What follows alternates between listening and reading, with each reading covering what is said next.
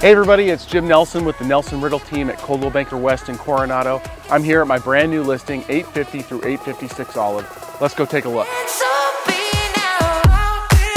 850 to 856 Olive Avenue is a recently renovated four unit apartment building offering located right in the heart of Coronado's village, just two and a half blocks from the beach two and a half blocks from town. All four units feature luxury vinyl plank and ceramic tile floors throughout. Fully modernized kitchens are outfitted with stainless steel appliances, including dishwashers, soft closed shaker cabinetry, and a soft color palette which exudes the Coronado beachy vibe everyone loves. Coronado offers tennis, golf, lawn bowling, water sports including boating on the bay, surfing, kayaking, and stand-up paddleboarding, fishing, and miles of bike lanes. Missing that big city life? Coronado is just five minutes across from San Diego downtown. Or to maximize cash flow, continue operating this fully furnished offering as vacation rentals.